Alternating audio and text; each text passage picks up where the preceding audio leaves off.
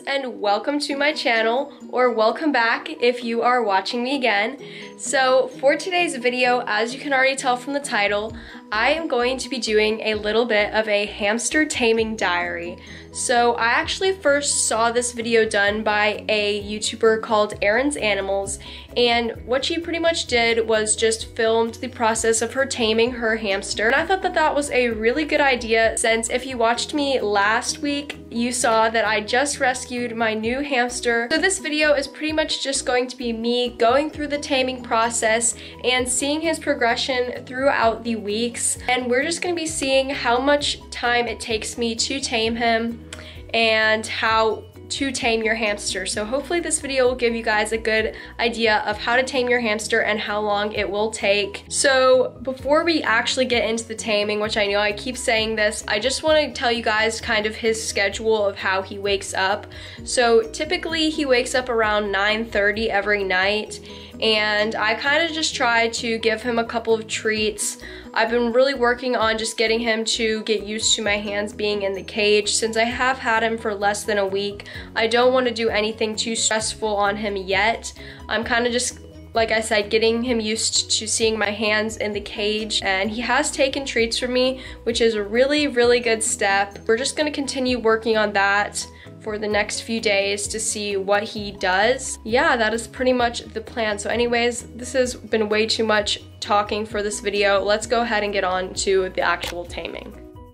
So currently it is about 8.50 right now and this is just what his cage looks like and currently he just came out and he just got some food which is kind of his normal routine. I'm kind of trying to just coax him out of his little hide with some treats. And i actually just gave him a treat and he took it from my fingers so i think he's getting really comfortable with that so that's really good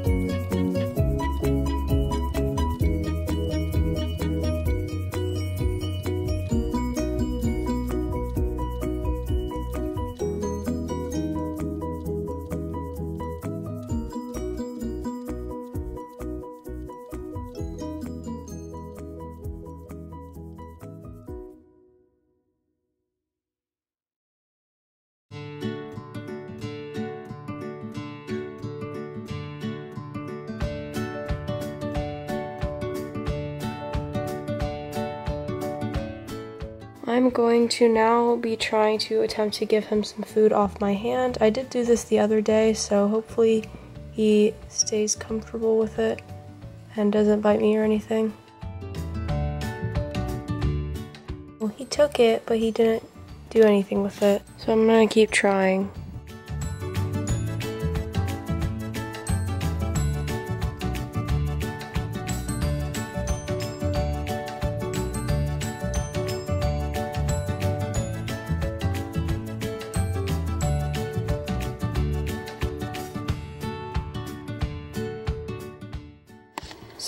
The next morning and he is once again out. I actually just put my hands in and I gave him a bunch of seeds and stuff. And he's been doing really, really nicely about just like coming over and sniffing my hands and he hasn't bitten me or anything. So that's really, really good so far. Gosh, you guys, I cannot believe what I just did. I just picked him up for the very first time. You guys can see his cheek pouches are so full because I've been giving him a lot of treats, but don't worry, a lot of them have been healthy treats. What I pretty much did was I took a little piece of millet, like one of these little sprays, and I kind of just led him over to my hand. And then whenever he was eating it, I picked him up. So I'm going to attempt to video this. Sorry that this angle kind of sucks, but we are going to attempt to give him maybe one more treat because I don't want to give him too, too many. But honestly, treats are super important in the taming process. And y'all see he's coming right over to the glass because he knows that I'm going to give him a treat. Over, no, no. Over to my hand. Take the treat. Take the treat. Oh. Ow. Ow. He just bit me. That hurt. Hey guys, and welcome back to taming day number uh, like six, five or six now. So this is the night after the morning of which I just got bitten. He's just kind of chilling. I just actually discovered him over here sleeping behind his wheel. He was literally sleeping upright behind his wheel. It was the weirdest thing ever. But turns out he was just sleeping, so that's good. Make sure that my hands do not smell like any of his food or anything. Yeah, first things first, we're just gonna start off by giving him some treats, I think. I have some peas here right now, so I think that's what I'm going to start off by giving him. Give him one pea to start.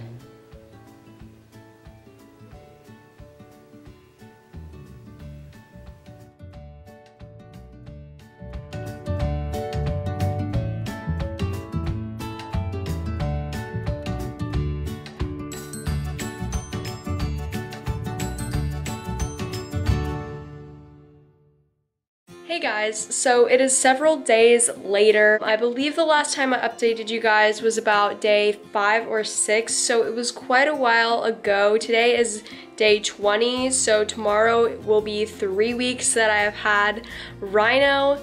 And I thought that I would just update you guys because I have not filmed since then. Because honestly I did not think that I was still gonna be filming this video. I kind of like gave up on this whole taming diaries idea. But I was just now looking back at the footage and I was like you know what? I should really continue this to show you guys my real experience with taming so far because I feel like a lot of YouTubers only make taming videos after they have tamed their hamster and so a lot of people watching cannot see the whole process that people actually have to go through in order to tame their hamster.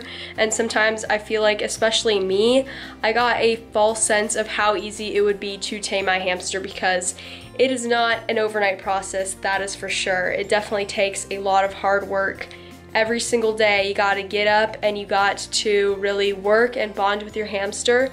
And like I said it will definitely not happen overnight. But anyways besides from that little rant I thought that I would just give you guys a little bit of an update on how Rhino is doing. Ever since I stopped filming he has gotten so much better with taking food from my hands I'll try to insert a couple of clips here and there because I know that I do have a couple of videos or pictures of him eating off of my hands. So he's been getting super comfortable with that. And I believe after a week two of just kind of doing that and kind of just getting him used to eating off of my hands and he's been getting really good with that. He almost always just comes over and eats right off of them now and he even puts his little paws on there. So after about week two I started doing bathtub bonding sessions with him every single morning um, and this was really great because we can really bond and he can really get uh, more used to kind of just crawling on me and also to my hands. But what I've been doing is I've been putting food on my hands and then whenever he comes over to eat my food or eat the food on the hand, I kind of, with my other hand, I almost like scoop up under his butt and I kind of just hold him like that as he eats so that he can kind of get in the feel of what it is like being picked up by a hand and that has been really good. I would definitely suggest that and I will definitely show you guys some clips of me doing that. And this really just gets your hamster used to being held but also like they're not solely focused on you because they're they are eating. And I'm not even scared of being bit at this point knock on wood because he has not bit me since that day that I showed you guys a while ago. And besides from that I've also just been working with Rhino as just like putting my hands down whenever I'm in the bathtub so he can kind of run over them. And he definitely has a, a long way to go with just getting comfortable with them. Hopefully in the next few days we can get more comfortable. He can get more comfortable with just like used to seeing my hands as just something he can run over and he doesn't have to be scared or jump over them or anything because he definitely is not willingly going onto my hands yet and that we will continue working on. I definitely notice um, I'm sorry this clip is going to be so long, but I definitely noticed that he is so much more willing to do taming sessions with me and kind of be picked up and played with in the morning and not at night. So I know that might be different for some hamsters, but that is pretty much what I have been doing every night. I just give him some food and then in the morning we do our little bathtub bonding session. Like I said, tomorrow morning I will be showing you guys me doing that to kind of add to this taming diary.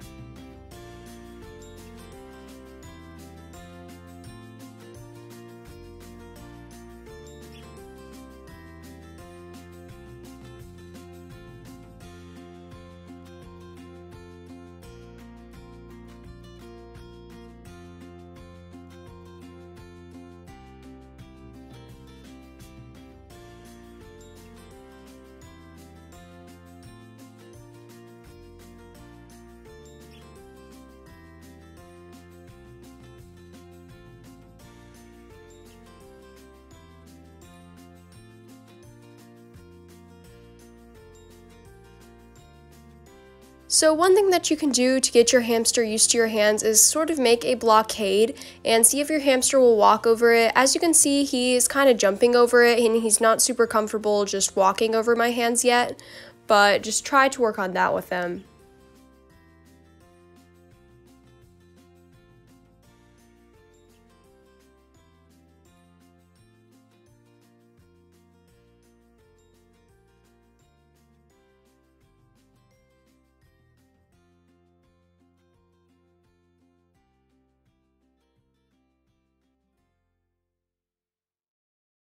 Alright you guys, so currently he's very active and he really just kind of wants to play or want some food, so I am going to give him some treats right now.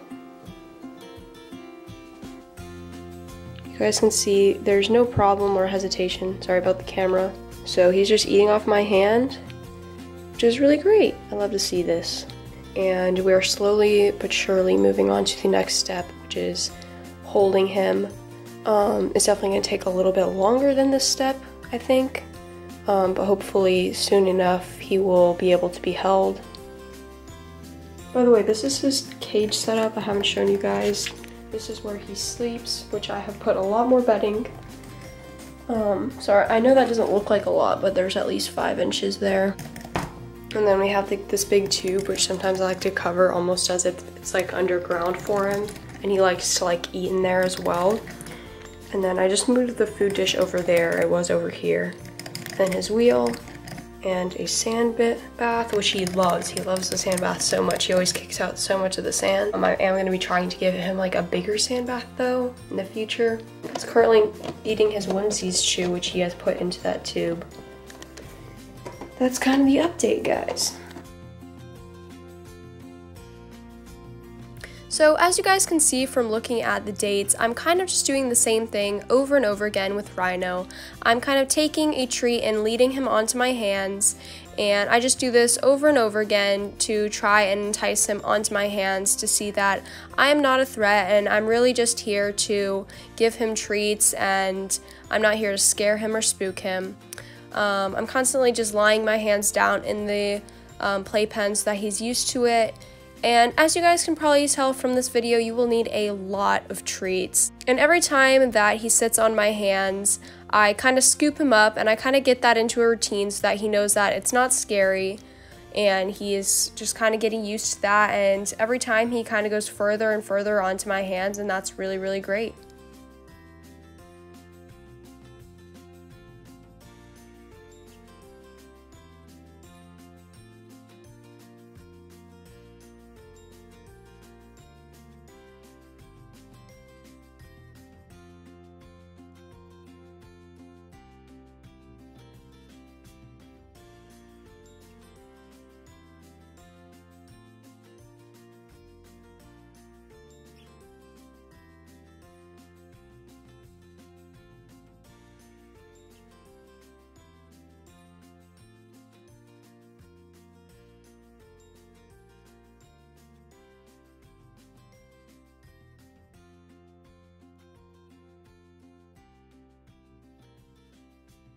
So another exercise that you can do is just leave your hands like I am outside of the little upside down hideout that you have in there. And so it kind of forces your hamster to either walk on your hand or jump out the other side. As you can see, very many times he just jumped out the other side because he did not want to jump onto my hands. But, you know, sometimes he does actually go onto my hands, which is a really, really good sign. So it is several days later since I did the last taming session and I actually just cleaned Rhino's cage so I just had him in here running around. In the meantime I'm just going to do a little taming session with him. So this is the first time that I've ever done a taming session with him where I'm not actually sitting in the bathtub. I'm just currently getting some treats and I actually just bought this huge bag of whole sunflower seeds. They obviously don't have like anything on them or salt or anything, so he seems a little timid right now. He's kind of just been staying like that. I don't, I don't know how long.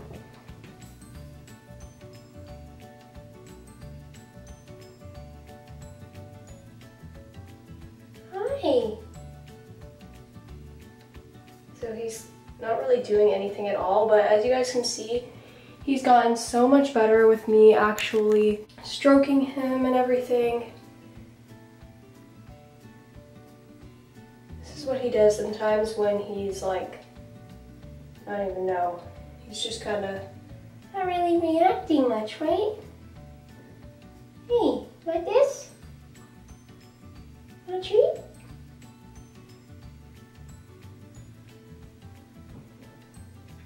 He does this a lot where he literally just freezes and doesn't move at all, which is a little concerning.